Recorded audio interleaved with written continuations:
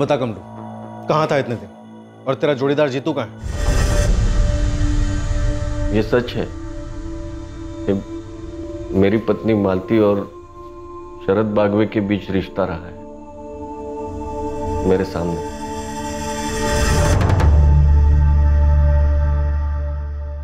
एक ही रात में पुलिस के हाथ दो ऐसे एंगल्स लगे थे जो अब तक उनकी रडार में आए ही नहीं थे। एक कमलू चार महीने गायब रहने के बाद खुद घर लौट आया था। तो क्या सुखी लाल पर लगा आरोप सही नहीं था? और जीतू क्यों नहीं लौटा था? दूसरी चौंकाने वाली लीड थी तुकाराम तुलारी की पत्नी मालती का शरद बागवे के साथ अफेयर। कौन था ये शरद बागवे? और तुकाराम की पत्नी मालती और शरद का अफेयर तुकाराम के सामने क्यों हो रहा था? वो हमारे घर की हालत काफ़ी खस्ता हुई थी। मरम्मत करवानी थी। तेरी छत तो दम तोड़ रही है तुकाराम। प्लास्टरिंग के साथ में छत का भी काम करा ले। एक ही ठेके में दोनों काम कर दूँगा। पर घाई करा ये तो छत गिरेगी सर पे एक दिन। हाँ हाँ काम तो करवाना ही है। आप ये बताओ पैसे कितने लगेंगे? राहुल तू स्कूल जा। देरी हो जाएगी ना तुझा। बाबा सब चकाचक हो जाएगा ना? हाँ सब हो जाएगा। अभी तो जा ध्यान से जाना हाँ? चल। प्लास्टरिंग पेंटिंग और छत की मरम्मत। सब कुछ मिला के पचहत्तर हज़ार होंगे। मैं कम बिम करके सत्तर हज़ार में कर दूँगा। बाप रे लेकिन सत्तर हज़ार रुपया नहीं इस इस वक्त मेरे पास। भला माहिती है रे और उसका भी बंदोबस्त कर दूँगा मैं। कैसे नवाब भाई? चिंता मत कर शरद भाई अगले ना तेरा काम नवाब। अरे शरद भाई। शरद भाई। बस। आ शरद भाई ये तुकाराम है। तुकाराम ये शरद भाई है ये तुम्हारे लोन का बंदोबस्त करेंगे। तुकाराम ज़्यादा घुमा फिर अगर बात नहीं करो। मैं सोलापुर के एक साहूकार कंपनी के लिए काम करता हूँ। नवाब ने सत्तर बोला लेकिन मैं तुम्हारे लिए एक लाख तक के लोन का बंदोबस्त कर सकता हूँ। ब्याज कितना होगा सर? साढ़े नौ टका। हर महीने के दूसरी तारीखों में किस्त लेने आऊँगा एक भी किस्त छूट नहीं सकती तुम। एक भी नहीं। अगर मंजूर है तो पाव शेर मंगाते वरना मैं चलता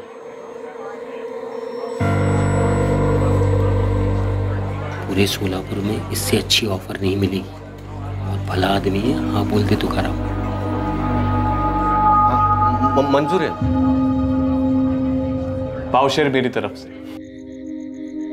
ये शरद बाग में जो भी है जी मुझे तो ठीक नहीं लगता। पहली मुलाकात में ही आपको पिला करके भेज दिया। अरे भला आदमी है। अब हर दो तारीख को किस्त लेने आएगा तब जान लोगे उसे। जो भी है। मुझे तो अब भी लगता है कि आपको समाज में से ही किसी से उधार लेना चाहिए था। छोड़ ना मैं सौदा करके आया हूँ। मुझे मालूम है क्या कैसे करना है। सुन ना मालती राहुल सोया जरा अंदर चले। बहुत दिन हो गया ना मेरे मेरे सर में दर्द हो रहा है।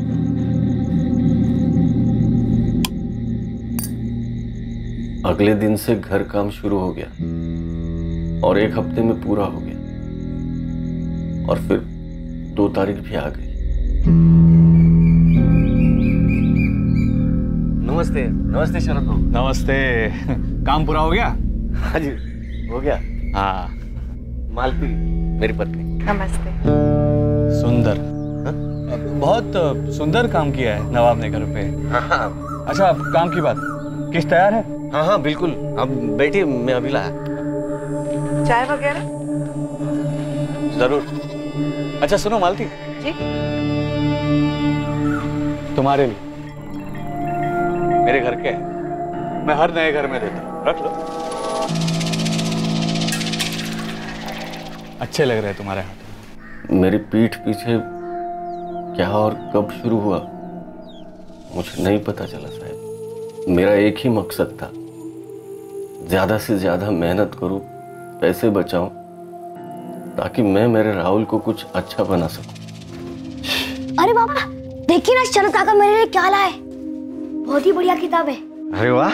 और उनके मोबाइल में बहुत सारे गेम्स हैं। हाँ। और उन्होंने मुझे खेलने भी दिया। बढ़िया है बढ़िया है। मालती किस दे देना ठीक से? हाँ। ये शरद भाऊ हर बार फूल ले आते हैं। और हर बारी मेरे लिए भी कुछ लाते हैं। बाबा एक पुराना फ़ोन खरीद के दो ना बाबा। सिर्फ़ गेम्स के लिए। अभी नहीं बेटा। पहले इस शरद भाव की सारी किस्तें पूरी होने दे उसके बाद ला दूँगा ठीक है? पक्का?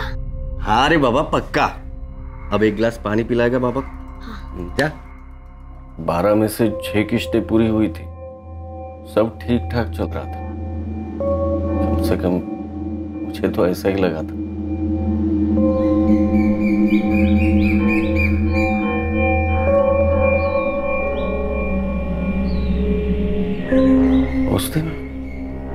तारीख तो नहीं थी।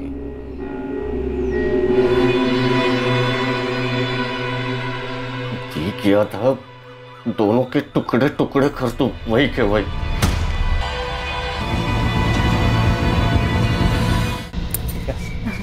ठीक है। और ये हो जाता नहीं। वो मैं यहाँ से गुजर रहा था तो सोचा हालचाल पूछता चल।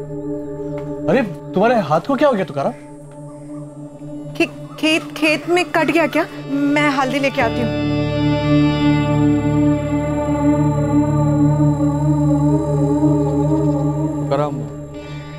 आज रात को आठ बजे मिल मुझे ठेके पर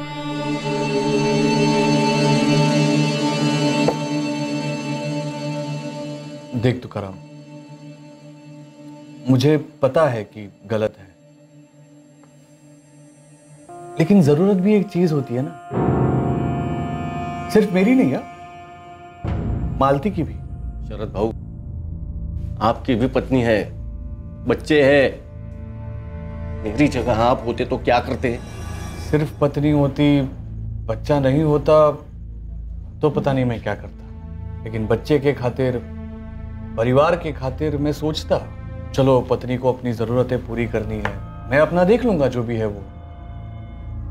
लेकिन घर तोड़ने का कोई मतलब नहीं बनता। और तूने अभी अभी अपने घर की मरम्मत की है दुकान। तेरे जो छह किस्त है, उसकी फ़िक्र मत कर, वो मैं भर दूँगा। देख तू करम, मेरा इरादा तेरा घर तोड़ने का नहीं है। बस मुझे छुप छुप कर कुछ नहीं करना। बोल। मंजूर है?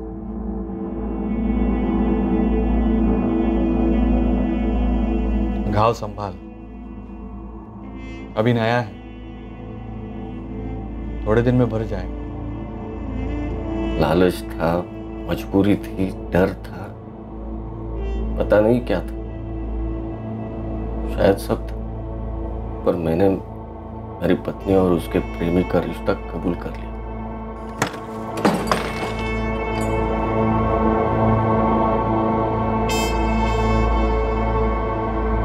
क्या बात हुई? उस दिन से मेरा और मालती का एक नया रिश्ता शुरू हुआ। और वो रिश्ता था खामोशी। हम अब एक छत के नीचे दो लोग थे जिन्हें एक बच्चे ने जोड़े रखा। और कुछ नहीं।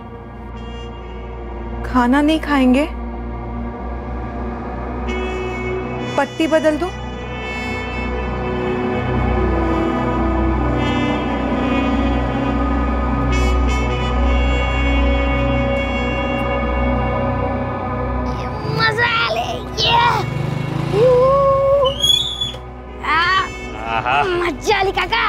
मज़ा आली हाँ। अगली बार तुझे और दूर ले जाऊँगा। और एक दिन तुझे चलाना भी सिखाऊँगा ठीक है? हाँ।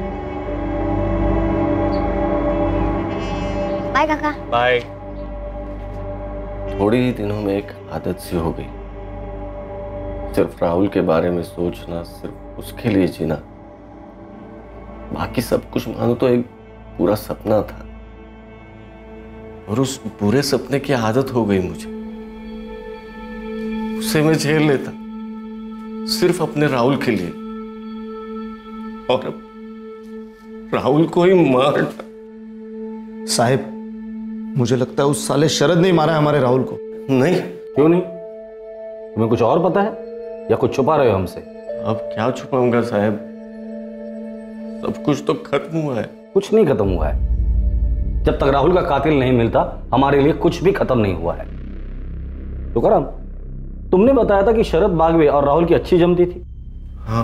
और हम जानते कि राहुल का कातिल उसके पहचान वाला था। तभी तो उसने राहुल को खेतों में बुलाया और राहुल वहाँ चला गया। अरे राहुल बाबा ने नए गेम्स डाले कि नहीं फ़ोन में? कहा शरद काका? अब तक नहीं डाले। आ, अच्छा सुन। नीलचंदियों का खेत पता है तुम्हें? हाँ। क्यों काका? आज शाम को छह बजे तुम वहाँ पर फ़ोन लेकर आ जा मैं तुम्हें एक से एक नए गेम्स डाल के दूँगा फ़ोन सच? हाँ। लेकिन सुनो किसी को बताने की ज़रूरत नहीं ठीक है? राहुल इधर आ।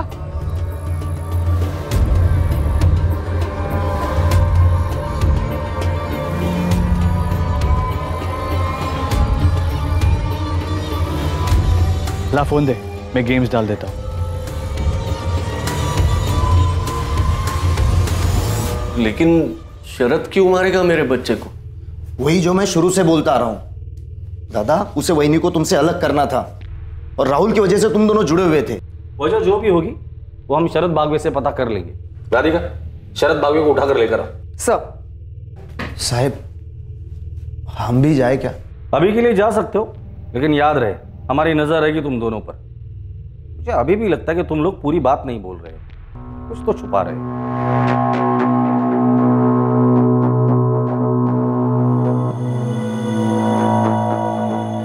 क्या बोला कमलू ने? कह रहा है कि वो भागा ही नहीं था। भागा नहीं था? तो कहाँ था पिछले चार महीने से? और तेरे बाप ने मिसिंग कंप्लेंट क्यों दर्ज की? साहब उस सुखीलाल नीलचंदी के घर चोरी हुई। तब आप लोगों ने मुझे बेकार में इतना तोड़ा।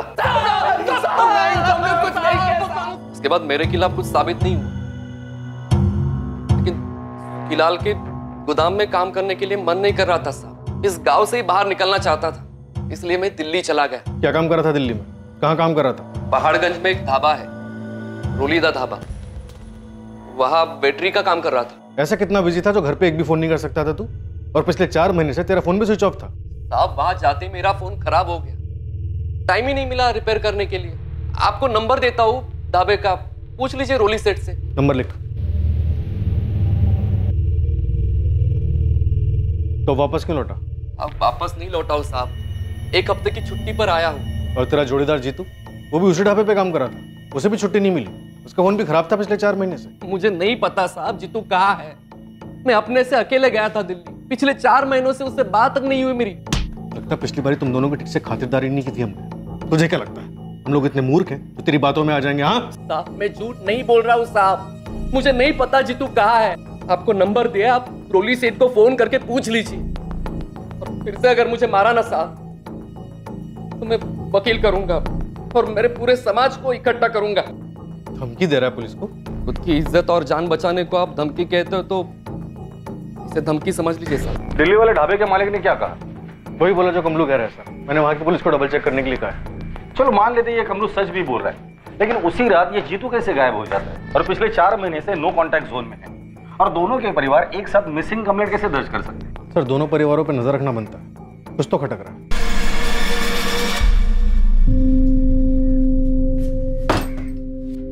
क्या हुआ पुलिस स्टेशन में? रात भर थे आप? कुछ नहीं हुआ। उन्हें तुम्हारे और शरद भाव के बारे में पता चला। क्या?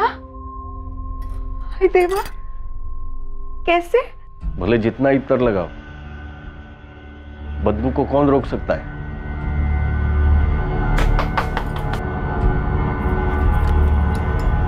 बालती जी। कुछ पता चला मेरे बेटे के कातिल के बारे में? थाने बुलाए तुम्हें साहब ने। बहू सुना आपने? कमलू घर आ गया है। दिल्ली में था और वो पुलिस वालों को बोला कि वो खुद से गया था। और इतने दिनों से वो लोग बाबा को विलेन बना रहे थे। अब तो सच में कुत्ते को गायब कर देना चाहिए। चुप। जय समझो वेला बेची की तरह जबान चल रही है इसकी आजकल। आज जा। मूर्ख गुटला अरे महेश ऐक ना। अरे बेटा सुन। रोजी तू? उसका क्या? वो भी लौटा है? कमलू पुलिस ने जीतू के बारे में कुछ बताया? वो मुझे कुछ क्यों बताने लगे? सिर्फ़ जीतू के बारे में कुछ आड़े टेढ़े सवाल किए जा रहे थे। सर आप हमसे ऐसे सवाल क्यों पूछ रहे हो? जिनके जवाब आप पता कर चुके हो। क्योंकि हर मुँह से निकला हुआ जवाब एक नया सच होता है शरद बागवी। पिछले एक साल से तो तुकाराम तोलारी की बीवी मालती के साथ तुम्हारा अफेयर चल रहा है। जी। क्या राहुल ने तुम दोनों का ऐसा कोई वीडियो बनाया था जो किसी को देखना नहीं चाहिए था? क्या बकवास कर रहे हैं सर? ऐसा कुछ नहीं हुआ था। शरद क्या तुमने राहुल को मार डाला? खेतों में बुलाकर? क्या अनाप शराब बक रहे हो सर आप? वो बच्चा मुझसे प्यार करता था। और और शरद क्यों मारेंगे राहुल को? दस जून की शाम को तुम कहा थे शरद? सर मैं मालती के साथ था उसी के घर। शरद जी आप जरा बाहर देख के आएँगे क्या? कि राहुल आ गया कि नहीं? एक घंटे पहले आ जाना चाहिए था। मालती अगर मैं अभी बाहर जाऊँगा तो लोग देख लेंगे। हाँ ठीक बात है। मैं चली जाती हूँ देख के आती हूँ। आप अंधेरा हो जाए तो निकल जाइएगा। हाँ?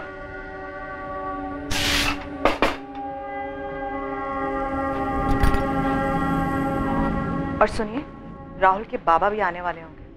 उनके आने के बाद ही निकलिएगा। मैं आती हूँ। मैडम मैं वहाँ आधा घंटा बैठा रहा। फिर तुकाराम वहाँ आया। नमस्ते शरद बाबू। ये राहुल और मालती कहाँ है? वो राहुल शाम से घर नहीं लौटा है तो मालती उसे ढूँढने गई। क्या? मैं भी जाकर देखता हूँ। रुक तुकाराम अंधेरा हो गया मैं भी निकलता बस यही हुआ था मैडम। यही सच है। क्या मेरे पति ने कहा? कि शरद ने राहुल को देखिए हमसे किसने क्या कहा यह बात मायने नहीं रखती। हमें शक था पूछ लिया। तुकाराम मुझ पर कभी उंगली नहीं उठाई। मैं जानता हूँ आपके कान उसके भाई प्रवीण ने भरे होंगे। वो मुझे पहले से पसंद नहीं करता था। आप इतना सब पता लगा रहे हैं तो आपने ये भी पता लगा ही लिया हो कि तुकाराम और प्रवीण के बीच में ज़मीन को लेकर मसला था। तो तुम्हारा कहना है कि प्रवीण ने राहुल को मारा हो? सर वो मुझ पर बेवजह उंगली उठा रहा शायद उसी में कुछ खोट हो। नहीं साहब मैं नहीं मानती कि प्रवीण ने कुछ भी किया है। तो तुम्हें किस पर शक है? मुझे नहीं पता साहब। देखिए सर मालती के साथ रिश्ता बनाकर मैंने शायद गलत किया। लेकिन मेरा यकीन कीजिए इसके अलावा मैंने कुछ गलत नहीं किया। इस रिश्ते की वजह से जीते जी मेरा पति मुझसे अलग हो गया। और इकलौता बेटा खोया है मैंने। इस रिश्ते की वजह से? बचा क्या बताऊँ? मेरे पापों की सजा मिल रही है मुझे। और कुछ नहीं। आप लोगों का निजी ज़िंदगी में क्या चलता है उससे हमें कोई लेना देना नहीं। हमारा ताल्लुक भी नहीं। लेकिन उसका साया अगर इस केस में राहुल मर्डर केस में दिखाई दिया तो इस केस से जुड़े सभी निजी रिश्तों की बाल की खाल उतार दूँगा। साहब साहब कमलू तो लौट गया लेकिन मेरा भाई जीतू कब तक लौटेगा? जब लौटेगा तो पूछ लेंगे उससे। आप हल्के में ले रहे हो साहब। मैं दावे के साथ कह सकती हूँ उस सुखीलाल ने कुछ कर दिया मेरे जीतू के साथ। तुम इसी दावे के साथ कमलू के बारे में भी बोल रही थी रोहिणी। क्योंकि दोनों एक ही दिन गायब हुए थे साहब। कमलू लौटा तो उसके घर वालों के अच्छे नसीब। लेकिन हम लोग ऐसे आस लगाकर कब तक बैठे रहेंगे साहब? मालती अब हम नहीं मिलेंगे। तुकाराम सही कह रहे थे। बदबू कभी छुपाई नहीं जा सकती। शरद बागवे और मालती तोलारी। सर लेकिन मालती तो माँ है। पता है मुझे राधिका कम होता है ये सब। लेकिन ये तब होता है जब अवैध रिश्ते का जुनून माँ के रिश्ते को भी निगल जाता है। रेयर केसेस है लेकिन हमने देखे जी सर। लेकिन शरद बाग में तो प्रवीण तोलारी की तरफ़ इशारा कर रहा है। राधिका इन सबके कॉल रिकॉर्ड निकालो और अच्छे से स्कैन करो। इन सबके पीछे खबरी लगा दो। कोई भी आउट ऑफ़ रडार नहीं होना चाहिए। दो और महीने बीत गए लेकिन राहुल के कत्ल की इन्वेस्टिगेशन में कोई खास बढ़ोतरी नहीं हुई। सभी मुमकिन संदिग्धों के कॉल रिकॉर्ड स्कैन हुए फ़ोन लोकेशन स्कैन हुए पर कहीं से कोई सुराग सामने नहीं आया। तुकाराम और मालती के पड़ोसी चौंक गए थे ये जानकर कि मालती का एक साल से शरद बागवे के साथ अफेयर चल रहा था। मेरी बात सुनो सुप्रिया।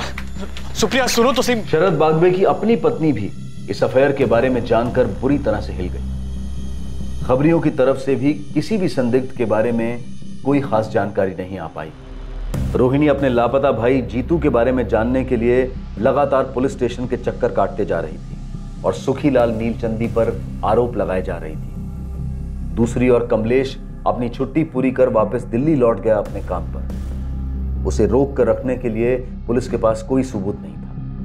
और वहीं बच्चे को खोने के बाद तुकाराम सभी रिश्तों से परे जाने लगा था। पर अंदर ही अंदर वो घुट रहा था, वो छुपा रहा था। राहुल का कत्ल एक शातिर साजिश का परिणाम था। और इस साजिश के पत्ते बहुत जल्द खुलने जा रहे थे।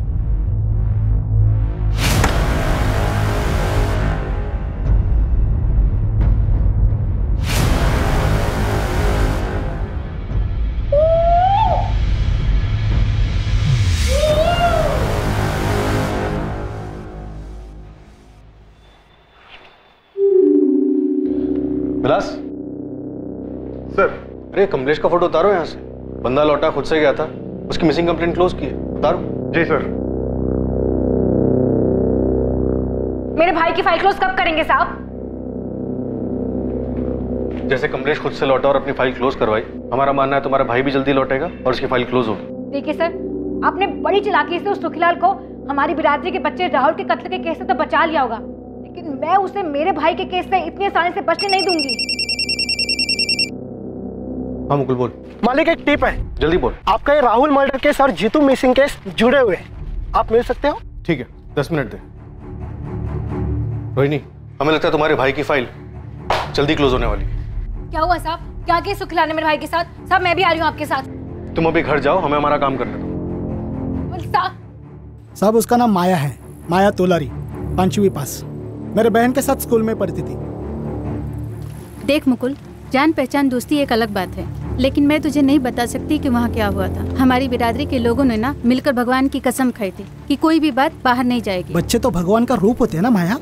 और एक बच्चे का कत्ल हुआ है वो भी तेरी बिरादरी का था। लेकिन तू समझ क्यों नहीं रहा है? मैं नहीं बता सकती कि वहाँ क्या हुआ था। कहाँ क्या हुआ था? वो जिस दिन राहुल का मर्डर हुआ था उसके दूसरे दिन उसके घर पे समाज की मीटिंग हुई थी। क्या मीटिंग? पर तू कह रहा था जीतू मिसिंग केस और राहुल मर्डर केस आपस में जुड़े हुए कैसे? माया मेरे को बताई मैं आपको बताऊँगा। आप सुखीलाल से पूछेंगे तुकाराम से पूछेंगे।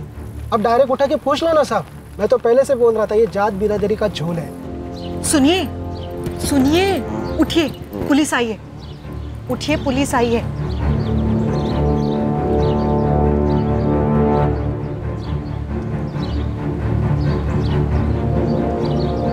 पता चला किसने मारा मेरे बेटे को? वो तो तुम हमें बताओगे तुकाराम।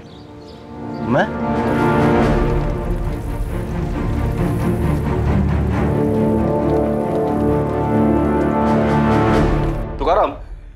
जून को दोपहर को तुम्हारे घर पर मीटिंग हुई थी तुम्हारे तोलारी समाज की। जी। उसके एक दिन पहले तक मेरा राहुल ज़िंदा था। और आज हम उसी के कातिल को ढूंढ रहे हैं। उस मीटिंग में क्या हुआ था वो बताओ ना। मैं तो कुछ सुन भी नहीं रहा था। और राहुल के अलावा मुझे कुछ दिख भी नहीं रहा था। तुकाराम मालती तुम्हारे राहुल को खोने का दर्द हमारे पूरे तोलारी समाज को है। तुम्हारा छोटा भाई प्रवीण तो तुम्हारे साथ है ही। हम सब भी हैं। तुम्हें इंसाफ मिलने तक हम चुप नहीं बैठेंगे। ओम प्रकाश भाऊ आप हमारे समाज के मुखिया हैं। आप ही पुलिस को सीधा सीधा जाके बता क्यों नहीं देते कि कौन है सबके पीछे? हम सब जानते हैं कि सुखीलाल नीचंदी का किया करा है। रोहनी तुम्हें बीच में बोलने को कहा है किसी ने? समाज में नीलचंदे को हमसे कितना प्यार है हम सबको पता है पर कोई मुँह खोलने को तैयार ही नहीं है। पर किसी को तो बोलना पड़ेगा ना? मेरे भाई जीतू को खा गए वो लोग। उधर देखिए सुरेश भाव के कमलू को भी खा गए। जिसका कोई जाता है वही जानता है। एक मिनिट हे बघा ओम प्रकाश भाऊ क्या हमें पक्का मालूम है कि सुखीलाल सेठ ने मेरे बच्चे को मरवाया कोई और भी तो हो सकता है नहीं? कोई और मतलब? साफ़ साफ़ कहो तुकाराम डरो मत। हम काहे का डर भाऊ? मैं ये कह रहा हूँ कि कातिल कोई और भी हो सकता है। हमारे बीच में से हो सकता है। तो उसका नाम लो तुकाराम दादा। बोलो। हाँ तुकाराम नाम लो। अगर बिरादरी में किसी पर शक है तो नाम लो उसका।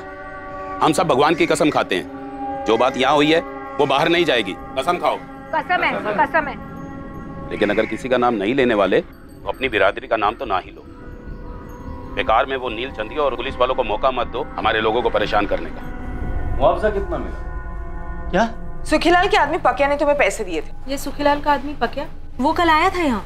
इस तुकाराम को कुछ पैसे दे रहा था। लेकिन मैंने आपको बताया था कि वो पैसे किस लिए थे। कल सुखीलाल सेठ ने पकिया के हाथों मेरी तनख्वाह और एक महीने का एडवांस भिजवाया। हाँ बताया था। लेकिन हम कैसे यकीन माने कि जो तुम बोल रहे हो वो सच है? हो सकता है कि मुँह बंद रखने के लिए वो पैसे दिए गए हो तुम्हें। साहब मैं अपने बेटे राहुल के कत्ल के बारे में चुप बैठूँगा। लेकिन हमारे सामने तो तुम चुप बैठे हो। हमारी नाक के नीचे एक आदमी का तुम्हारी बीवी के साथ एक साल से अफेयर चल रहा था। ये बात तुमने हमें बतानी ज़रूरी नहीं समझी। तुम्हारे बेटे के कत्ल के अगले दिन तुम्हारे समाज की बैठक हुई। खुद सुखीलाल का नाम उठा खुद तुम्हारे समाज ने मुआवजे और तहकीकात की मांग की और तुमने एक शब्द भी नहीं बोला। क्यों? साहब मेरा दिमाग सुन था। और इन दोनों बातों का मेरे बेटे के कत्ल से कोई ताल्लुक नहीं है। ताल्लुक है? वो ताल्लुक तुम हो। क्या कह रहे हो आप साहब? तुम अपनी बीवी मालती से नफरत करने लगे थे। इतनी नफरत कि उससे ताल्लुक रखने वाली हर चीज़ से तुम्हें नफरत हो गई और राहुल वो तो उसी की कोख से पैदा हुआ था। नहीं नहीं साहब। ये आप बोल भी कैसे सकते हो? ये हम नहीं बोल रहे तुम्हारी खामोशी बोल रही। और तुकाराम खामोशी का मतलब हम लोग झूठ समझते हैं। कातिल राहुल की जान पहचान वाला था। उसने राहुल को खेत में बुलाया और वो गया। और राहुल को खेत में बुलाने वाला और कोई नहीं बल्कि तुम थे। बाबा आपने मुझे यहाँ क्यों बुलाया? आप मुझे तोहफा देने वाले थे ना? आपने मेरे लिए नया गेम लाया लेकिन वो मेरे मोबाइल में कैसे डालेंगे? आँखें बंद कर। मेरे राहुल को मैंने मारा। साहब, मैंने मारा राहुल को साहब आप कैसे बोल सकते हो साहब? साहब मैं कैसे मारूँगा मेरे राहुल को साहब? साहब मैंने आपको बताया था ना राहुल से कितना प्यार है कर हो?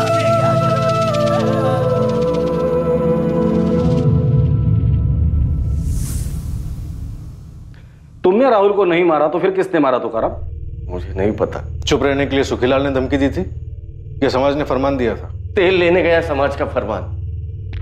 वो हर दूसरे दिन हर दूसरी बात पर जारी होते रहते हैं। ये मत करो, वो मत करो, इसे ना मिलो, उसे मिलो। फरमान तो मुझे जीतू कमलू के वक्त भी मिला था। जीतू कमलू के वक्त? आप लोगों ने उन दोनों को उठाया था। जब सुखीलाल सेठ ने उन पर चोरी का इल्ज़ाम लगाया था, तब हमारे मुखिया ओम प्रकाश भाऊ के घर बैठक बुलाई गई थी। वैसे मैं कभी जाता नहीं हूँ बैठकों में, पर उस दिन खास मुझे बुलाया गया था। यहाँ मौजूद कुछ लोग नील चंदियों को अपना आका मानते हैं, उनके जुल्मों के बावजूद उनकी चाकरी करते हैं। मैं तो कहूँगा उनके टुकड़ों पर फलते उन्हें यह चेतावनी है कि खबरदार खबरदार अगर सुखीलाल के यहाँ उन्होंने मजदूरी की, उसने बेबुनियाद हमारे जीतू और कमलू पर उंगली उठाई है। चोर कहा है उन्हें। क्या हम तो लारी चोर हैं? इज्जतदार और मेहनती लोग चोर हैं? से पीटा है मेरे भाई जीतू को और कमलू को पुलिस ने। जानवरों से भी बहत्तर पिटाई की है। न्याय होगा उनके साथ। लेकिन तब तक यहाँ बैठे हर तोलारी को यह कसम खानी होगी कि सुखीलाल तो क्या? किसी भी नील चंदी के यहाँ पर कोई काम नहीं करेगा। कसम है। कसम है। मुझे कुछ कहना है भाऊ। हाँ हाँ तुकाराम। मैं तो इंतज़ार कर रहा था कब बोलोगे। इसीलिए खास तुम्हें इस बैठक के लिए बुलाया। है ओम प्रकाश भाऊ सभी लोग जानते हैं कि इतने सालों से मैं सुखीलाल सेठ के खेतों में काम कर रहा हूँ उनका खेत संभाल रहा हूँ। मेरा उनसे कोई बैर नहीं है। मुझसे हमेशा वो अच्छे से ही पेश आए हैं। तुम कहना क्या चाहते हो? कि इस चोरी के आरोप को सिर्फ़ एक चोरी का आरोप ही समझा जाए। इसे जात बिरादरी का मामला ना बनाया जाए। तो कराम दादा तो आप ये कह रहे हैं कि मेरे भाई जीतू और इनके बेटे कमलू ने वाकई में चोरी की है। मतलब कि आपने भी उन सुखीलाल नीलचंदी के साथ हाथ मिला लिया ना अपनी बिरादरी के लड़कों के खिलाफ। नहीं नहीं। मैं कतई ऐसा नहीं बोल रहा हूँ। मैं सिर्फ़ इतना ही बोल रहा हूँ कि पुलिस वालों को उनका काम करने दो। अगर आपके भाई प्रवीण का पुलिस भट्टा बनाती या फिर आपकी पत्नी मालती है लड़के राहुल के साथ नीलचंदी कुछ कर देते तो फिर कैसा लगता आपको? मुझे ऐसी बहस में पढ़ना ही नहीं है रोहिणी और ओम प्रकाश भाऊ। यह आपका फरमान कि मैं सुखीलाल सेठ के खेतों में काम ना करूँ। मैं इसे नहीं मानता। और मेरे जैसे जो जो मेहनत की रोटी कमा रहे हैं दुश्मनी को मिटाने की कोशिश कर रहे हैं वो भी इस फरमान को ना मंजूर करें। अरे क्या ना मंजूर करे जी नाइंसाफी है। जी नाइंसाफी है। शांत। तुमने जो कहना था कह लिया तुकाराम। अब मेरी बात सुनो। जो समाज की मदद को नहीं आता उसके बुरे वक्त में उसके साथ कोई खड़ा नहीं होता। कल को तुम्हारे किसी अपने के साथ नील चंदियों ने अगर कुछ किया तो दलील लेके हमारे पास मत आना। ओम प्रकाश भाऊ, समाज के सभी भाई बहनों, अभी आप सभी गुस्से में हो, तेवर चढ़े हुए हैं। इसलिए सिर्फ़ मैं यही कहूँगा कि दुश्मनी दो धारी तलवार है। दुश्मन का गला भले काट लो, दूसरी तरफ़ से खुद का ही गला कटता है।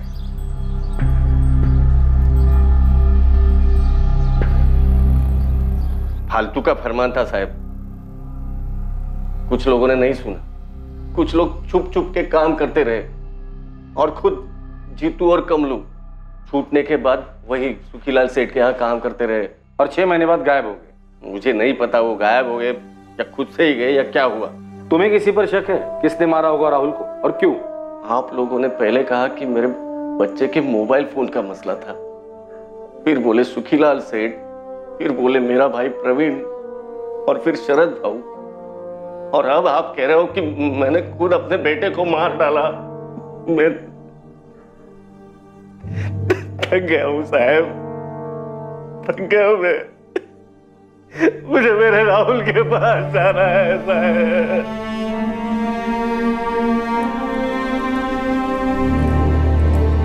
जीतू और कमलू का गायब होना और राहुल मर्डर केस दरअसल ये दोनों केसेस ओम प्रकाश तुकाराम और सुखीलाल से जुड़े हुए हैं। शास्त्री तुम सुखीलाल के घर जाकर उससे बात करो। और राधिका, तुम ओम प्रकाश के घर जाके, लेकिन संभल कर। ध्यान रहे कि ये दोनों अपने अपने समाज की अगुवाई करते हैं।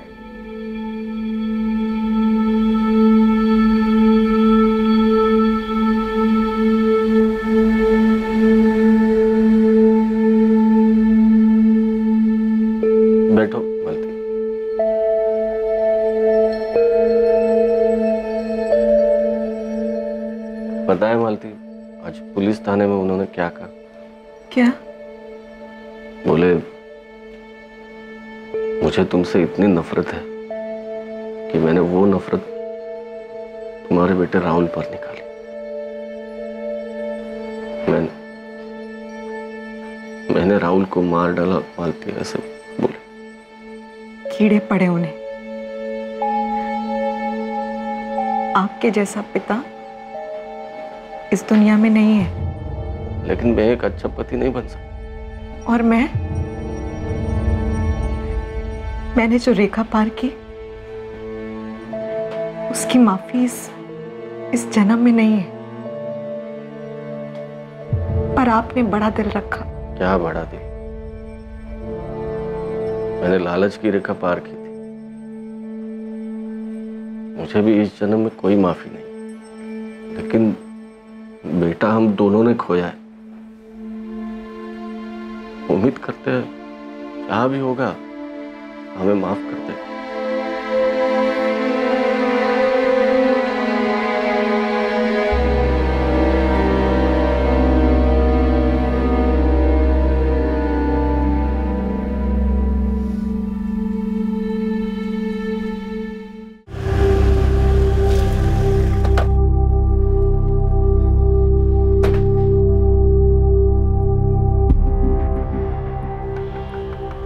नमस्कार शास्त्री जी बोलिए क्या सेवा कर सकते हैं? सीधा सवाल है सुखीलाल जी।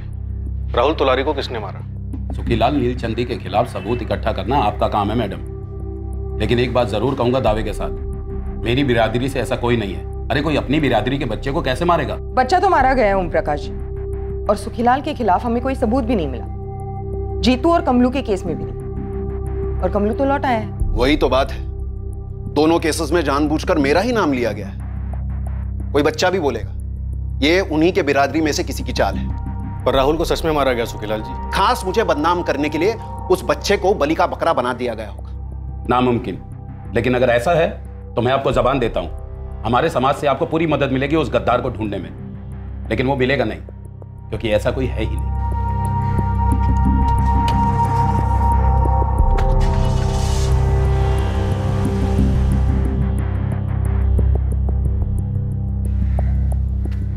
पापा क्या बोल रहा था पुलिस वाला?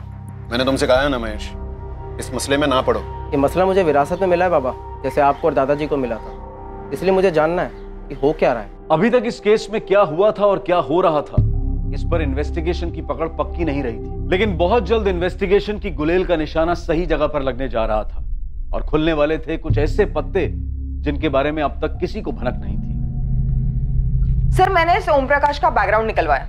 उसका ट्रैक रिकॉर्ड क्लीन है। लेकिन अपनी बिरादरी में थोड़ा शोर ड्रामा करता रहता है पर ले देकर शांति बनाए रखा है। सुखीलाल के बारे में भी यही पता चला है सर। बच्चा तुकाराम और मालती ने खोया जो इस वक्त हमारे संदिग्ध नहीं है। शरद भी आउट प्रवीण आउट सुखीलाल और ओम प्रकाश हमारे रडार पर नहीं है। फिर ऐसा कौन है जो है तो इसी दुनिया में लेकिन हमारे रडार पर नहीं आ रहे सर वो फिर से आ गई है दिमाग चाटने। वो रोहिणी तोलारी और वही दुखड़ा गा रही है। जीतू को सुखीलाल ने गायब किया राहुल को सुखीलाल ने मार डाला। शास्त्री सुखीलाल जब यहाँ आया था तब उसने एक बात कही थी कि तोलारी बिरादरी से कोई तो है जो उसे फंसाना चाहता है। हाँ सर उसने तो यहाँ तक कहा था कि राहुल को जानबूझ के मरवाया गया उसे फंसाने के लिए। सर जीतू और कमलू के केस को हमेशा एक समझा गया। कमलू ने ये कहा था कि वो भागा नहीं था और जीतू के बारे में उसको कोई खबर नहीं थी। फिर भी उसका बाप सुरेश रोहिणी के साथ आता रहता था। कमलू के बाप सुरेश को उठाकर लेकर आओ। शास्त्री इस रोहिणी की स्कैनिंग शुरू कर दो उसके कॉल रिकॉर्ड्स निकालो मुझे लगता है दोनों केसेस को जोड़ने वाली कड़ी हमें मिल चुकी वो चोरी का इल्ज़ाम वगैरह होने के बाद हमारा कमलू एकदम गपचुप गुमसुम रहने लगा था। एक दिन काम पे गया फिर लौटा ही नहीं। मुझे लगा जीतू को कुछ मालूम होगा। विचारना त्याला पूछना। मैं तो खुद आपसे पूछने आने वाली थी सुरेश भाऊ। जीतू भी रात भर घर वापस नहीं आया। उसका भी फ़ोन ऑफ़ जा रहा है। तो फिर मैं पुलिस स्टेशन शिकायत करने जाता हूँ। आ, रुकिए दो मिनट। आ, मैं भी आपके साथ आती हूँ। हाँ। लेकिन शिकायत क्या करेंगे? यही कि मेरा बेटा गायब हो गया ढूंढो जरा उसे। सुरेश भाऊ दो दो जवान लड़के ऐसे गायब थोड़ी ना हो जाते हैं। उन्हें गायब करवाया गया चोरी का इल्ज़ाम नहीं लगा पाया तो देखो उन्हें गायब ही करवा दिया। किसने? वही कमीना सुखीलाल नील चंदी। उसके बाद रोहिणी जो बोलती गई मैं सुनता रहा। दरअसल आप लोगों से बात करने के बाद कमलू जब घर लौटा तो रोहिणी भी पीछे पीछे घर आई थी। क्या? क्या बोली तब कैसे आ रहे तेरे सवाल? यही कि जीतू और मैंने चोरी का माल कहा बेचा जीतू कहा है वगैरह वगैरह।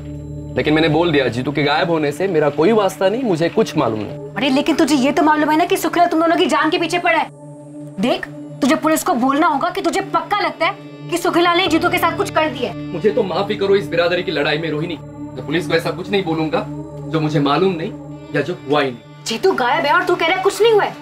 सुरेश भाऊ आप कुछ नहीं कहेंगे? कमलू सही तो कह रहा है ना। काय चुकी से बोल रहा तो? सुरेश भाऊ याद रखो ओम प्रकाश भाव ने क्या कहा था? जो बिरादरी की नहीं सोचता उसको कोई नहीं पूछता।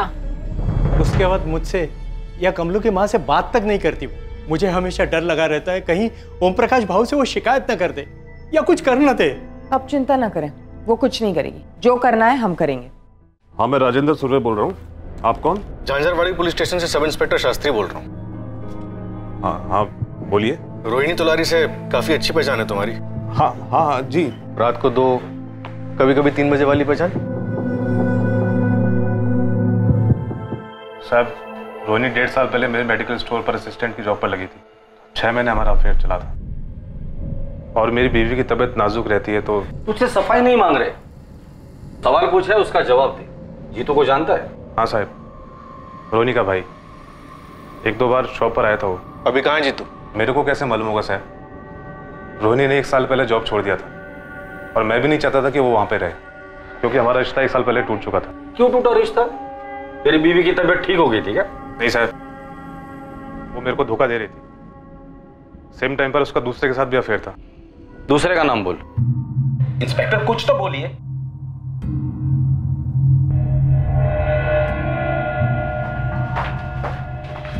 नहीं है सर। आप बताएँगे आप मेरे बेटे को ढूंढ क्यों रहे हैं? आपका बेटा अठारह साल का हो गया? नहीं। अभी दो महीने बाकी हैं। बच्चा है वो। आपके बिरादरी की रोहिणी तुलारी के साथ? आपके बच्चे का? एक साल से चक्कर चल रहा है। और हमें शक है कि रोहिणी का हाथ है राहुल के मर्डर में। और शायद आपके बेटे का भी। ओम प्रकाश जी आपका नाम अच्छा है। आप काम भी अच्छा कीजिए। बताइए आपका बेटा विनीत कहाँ मिलेगा? वो कभी कभी हमारे खेत वाले पुराने मकान में जाता है अपने दोस्तों के साथ।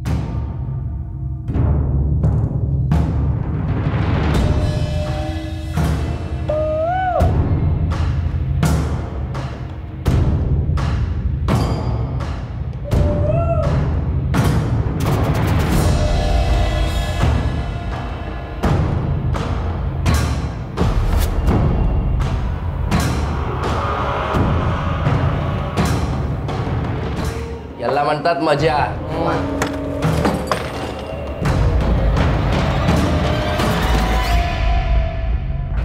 जितेंद्र तोलारी उर्फ़ जीतू छह महीने से तेरी बहन ने हमारा सर खा के रखा था।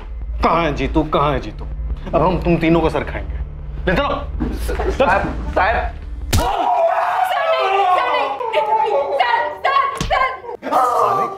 जो हुआ है वो सब सच बता रहा। कुछ भी छुपाया ना तो मुँह में एक भी दांत नहीं रखूँगा तेरे। सारी हड्डियाँ तोड़ दूँगा। बोल। बता बता दे साहब। अबे कब तक वही वही थके हुए गेम खेलता रहेगा? अब क्या करूँ विनीत दादा? जो है वही खेल रहा हूँ। सुन आज शाम को छह बजे नीलचंदी के खेत के अंदर मिल। एक आदमी है जो तुझे नए नए गेम डाल कर देगा। वो भी फोकट में। फुकट में? हाँ लेकिन तू किसी को बोलना मत कि वो और मैं तुझे मिल रहे करके।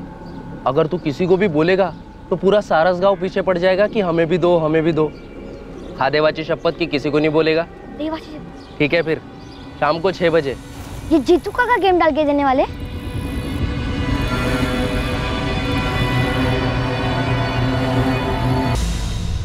विनीत रोहिणी और जीतू ने अपना जुर्म कबूल किया अब तेरी बारी। क्या क्या किया इसने मैडम? और ये जीतू और रोहिणी ने क्या कबूल किया है? विनीत बताओगे नहीं अपने पापा को? अरे क्या किया है तूने? क्या किया है? सुखीलाल को फंसाने के लिए तुमने राहुल को मरवाया। सुखीलाल ने मेरे भाई को चोर कहा। उसे खूब पिटवाया। और फिर जब कमलू गायब हुआ तो मुझे लगा ये मौका अच्छा है। जीतू जीतू उठना जीतू जल्दी उठ। कमलू कल रात से गायब हो गया कहीं भाग भाग गया होगा। तू भी कुछ दिन के लिए गायब हो जा। मैं सुखीलाल चंदी के खिलाफ शिकायत दर्ज करने वाली हूँ। सबको लगेगा उसने तुम दोनों को गायब करवा दिया है। फिर देखना उसकी खैर नहीं। समझ गया ना? चल, जल्दी कर, अब क्या सोच रहा है? जल्दी कर। लेकिन जब दुकाराम ने साथ देने से मना किया, तब मेरी सुलग गई। मुझे उसे सबक सिखाना था।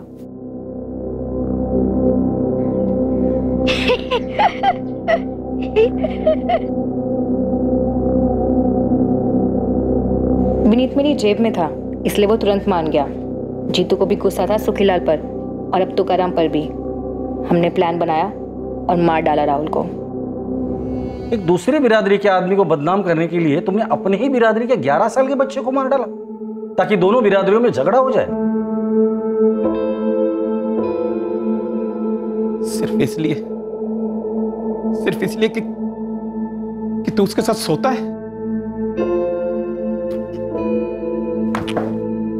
रोहिणी तोलारी और उसके भाई जितेंद्र तोलारी उर्फ़ जीतू पर आईपीसी की धारा 302 के तहत हत्या का चार्ज लगाया गया है। हालाँकि जुर्म के वक्त विनीत तोलारी नाबालिग था, पर कोर्ट ने जुर्म की जघन्यता, उसकी हीनियसनेस को नज़र में रखते हुए जुबिनाइल जस्टिस एक्ट के सेक्शन 15 के तहत विनीत पर भी धारा 302 लागू की है। तुकाराम और मालती अपने बेटे के कत्ल की वजह जानकर हक्का बक्का रह गए। ओम प्रकाश को भनक तक नहीं थी कि राहुल के कातिलों में एक उसी का नाबालिग बेटा विनीत था। सुखीलाल इस बात को हजम नहीं कर पा रहा है कि उससे बदला लेने के लिए रोहिणी ने एक मासूम बच्चे को मार दिया। दूसरी तरफ़ उसके घर हुई चोरी का केस अब तक हल नहीं हो पाया है।